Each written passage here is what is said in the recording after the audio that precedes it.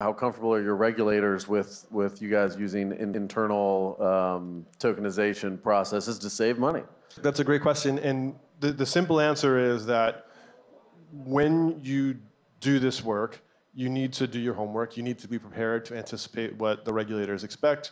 Last year, I believe it was, that the, the Fed had issued a market guidance that firms that were supervised by the Fed needed to notify their primary regulator, i.e. the Fed, when they were embarking on this type of activity.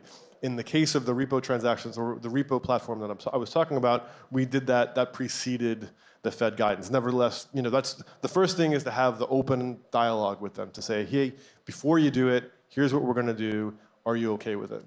The second thing is that, and in that case, you know, it's different in Europe, but in that case, we're using a, a private permission blockchain so that it doesn't have access to, you know, so among the concerns you can, you can imagine or things that they've talked about publicly are, you know, data security, access to, you know, bad actors, things like that. So if you're in a, you know, a permissions chain, you know, a much easier conversation.